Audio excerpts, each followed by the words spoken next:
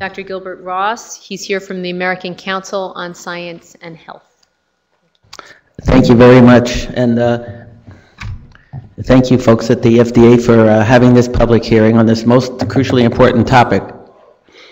Uh, The most reliable estimates uh, are that 1 billion people will die from cigarette smoking over the course of this century. It's cigarette smoking, that is, not tobacco use. Even in our country, with its stringent regulations and long-standing absence of mass marketing, over 45 million Americans still smoke. Over 400,000, perhaps 450,000, die each year to the effects of cigarette smoke. This is a massive public health problem that we face. We have to address this today and moving forward in order to reduce the frightful toll of smoking. Creative approaches are needed, not blind adherence to the failed approaches of the past, fear and mistrust of the tobacco companies, which was well earned during the deceptive, manipulative, and fraudulent practices of the previous century, should not be allowed to trigger hyper-precautionary regulation ba- uh, uh, on far safer non-combustible products, whether tobacco-based or not. Such an approach will hamstring effective approaches uh, uh, to uh, reducing the toll of cigarette smoking. Uh, Strict uh, strict compliance, for example, with the recommendations of the most recent IOM report, will eliminate any possibility of reduced risk tobacco or nicotine delivery products getting onto the market. We cannot await decades of data from gold standard random controlled trials that can never be done to pharmaceutical level standards. While waiting for such data to accumulate, millions will die. The deep-seated antipathy of governmental agencies, NGOs, and academics toward the tobacco industry is something we should never forget. But erecting impenetrable obstacles to truthful communication about the relative risks of different tobacco products and other modified risk products is counterproductive. Those who will be penalized are not the tobacco companies, but addicted smokers. The current regulatory environment, as well as the stated goals of the leadership of the tobacco industry, bear no relationship to those of the last century. I implore you not to ignore reliable epidemiological evidence of the low relative risks of non-combustible tobacco and nicotine delivery products. Sticking to the tired mantra, there is no safe tobacco product, is not informative nor helpful. While technically true, it is equally true that there's no safe automobile or medication. But we allow them on the market and accept the downside for the greater good. Let me talk about the greater good for a moment. The sad state of affairs of millions of addicted smokers who want to quit and tried to quit and failed. Clear evidence collected over decades of use is those for which you to see it. Modern smokeless products such as snus, low in measurable carcinogens and low in clinical adverse outcomes, are about two orders of magnitude safer than smoking. Not true, not safe, it's true, but safer. None of the official FDA sites, nor those of the CDC or other public health agencies, come to terms with these simple facts. Among the 45 million addicted adult smokers in our country, 70% say they want to quit, 40% try each year, but only 10% or less succeed. Current approved cessation aids fail 90% or more of the time, an unacceptable rate by any reasonable standard. Epidemiological studies over the past decade plus, documented by EU health authorities, show that the rate of smoking and smoking-related disease and death in Sweden among men is the lowest in the EU, directly correlated, inversely, I should say, with the amount of smokeless tobacco use. Ignoring these facts restricts smokers seeking guidance to the same dogma. There is no safe tobacco product. Other official sites warn of the dangers, the ephemeral dangers, the hypothetical dangers of e-cigarettes. Smokers will just get the message. If these advisories don't help you to quit, just keep on smoking. The sad and inconvenient truth is that the approved products, I won't go through them all, succeed infrequently. Over a one-year period of time, less than 10%. And the article acknowledging this fact was published not by Big Tobacco, but by uh, anti-tobacco spokespeople well known to you, Doctors Greg Connolly, Hillel Alpert, and Lois Biener in January of this year. The abstract says, this study finds that persons who have quit smoking relapsed at equivalent rates, whether or not they used NRT to help them in their quit attempts. So why bother? And they have their own side effects, which are rarely mentioned. The driver of ongoing smoking, despite the well-known risks, is nicotine addiction, which takes hold after only a brief experience with inhaling cigarette smoke. The addiction to nicotine, strongly enhanced by the rituals of smoking, keeps millions of smokers hooked. Smokers quit all the time, it's very true. More, there are more non-smokers, uh, ex-smokers than smokers now.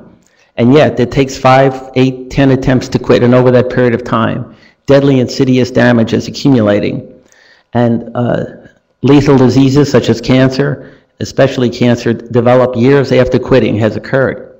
Smoking-related COPD, which starts uh, during smoking years, continues to progress relentlessly even after quitting. Secondhand smoke sickens and kills. How many? We don't know exactly. But none of those problems occur in, in smokeless products or with e-cigarettes.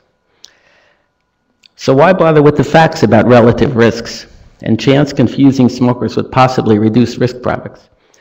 Here's why, because millions of nicotine addicts will keep on craving, seeking, and getting their drug.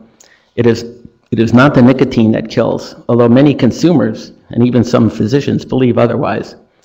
Even if we could make all the cigarettes in the world disappear with a snap of the fingers, their replacements arrive very quickly. It's not that simple. Smokers, if smokers are discouraged from access to or information about alternative reduced risk products, some will quit. But said experience shows that the overwhelming majority will just keep on smoking.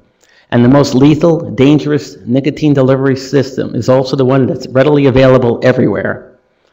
Other governments and the World Health Organization are trying to address this devastating problem by banning smokeless products and e-cigarettes, conflating tobacco and smoking. I would urge you not to do the same thing. Let me uh, devote a few moments to e-cigarettes. Electronic cigarettes, of course, are not cigarettes, they're nicotine delivery devices. Uh, Despite the lack of uh, uh, statistically significant information collected on them, millions of smokers have taken up this technology. Uh, That means the substances that are being provided in e-cigarettes, water, glycerin, uh, or propylene glycol, vaporized nicotine at various dosages are quite benign and at worst, far less harmful than the products of uh, tobacco combustion. Common sense is not something that I, as a public health person, usually resort to. However, but the stakes here are higher than any, in any other situation, given that smoking is the most devastating public health problem we can deal with, and it is preventable. Decades of trial, we can't wait for decades of trial da- data to accumulate and ignore the simple truth by ad- adhering to warnings of illusory dangers during, while waiting that will cost millions of lives. Some have expressed concerns that reduced risk products will lead young people toward smoking, toward nicotine addiction, and eventually smoking. There is no valid evidence that smokeless products or e-cigarettes function in such a gateway capacity. The issue I ask you now to confront is crucially important. The formidable barrier to truthful communication erected by the FDA and other agencies uh, about the, uh, the relative risks of various tobacco and nicotine delivery products. Uh, Of course, when we attempt to broach that problem, we run into the Family Smoking Prevention and Tobacco Control Act, which erects barriers to a truthful communication, certainly by the tobacco companies. So, who can tell the truth to the public, to the desperate smoker? I ask you to do so. I'm not asking you to to flout the law, nor even to lobby for its revision. But nothing in the law or regulations requires your consumer-oriented websites to continue to promulgate false or misleading information about these products and their risks. FDA websites uniformly warn smokers away from much safer products and what seems to be an intentionally misleading campaign to keep smokers getting their nicotine from cigarettes, the most lethal develop, uh, delivery system. This is counterproductive and in fact dangerous. These advisories should be removed, or better still modified to reflect the accumulating scientific reality, mostly from Scandinavia. These data clearly show the inverse correlation of smokeless tobacco consumption with cigarette-related mortality. Further, the warning labels on low-risk tobacco products should be amended to reflect the, the new scientific evidence. Uh, The inexcusable fraudulent behavior of the cigarette makers is on record. I became well versed in it uh, in my tenure at the American Council on Science and Health, where anti-tobacco and anti-smoking efforts and mistrust of big tobacco was part of our marrow. We at the American Council recognize that times have changed thanks to the devoted efforts of many in the anti-tobacco, anti-smoking movement. Smoking rates have plummeted. although over the past few years, it seems to have plateaued. Quit rates also, despite the addition of several newer cessation products. Some of those methods, as I mentioned, have their own risks, and that's really downplayed on the FDA sites as well. In order to save the lives and health of millions of addicted smokers, the time for decades-old mistrust and recriminations is past. The current leaders of the tobacco industry will continue to sell tobacco products, but they also state that their aim is to harm and kill fewer of their customers than they used to. The recent statistics showing reduced cigarette sales, along with increased smokeless sales, is exactly what we should be striving for. But even those data bring forth attacks from those who wish that tobacco would just disappear, but it won't. I believe that one day, I don't know when, that public health authorities who now misled and continue to mislead smokers by ignoring scientific evidence about the relative risks of various tobacco products will be held to account. Like the tobacco company executives who are now required to confess and accept responsibility for their uh, actions of the past, the current public health authorities may have to explain why they stubbornly adhere to a dogma based on belief or agenda, despite clear evidence to the contrary, maintaining with straight faces that there is no safe form of tobacco. Smokeless products are not a safe alternative to smoking. Such a position is not based on science, has caused, and will cost many smokers their lives if nothing changes. Thank you very much. Uh, Questions? No questions? Thank you again. Thank you very much.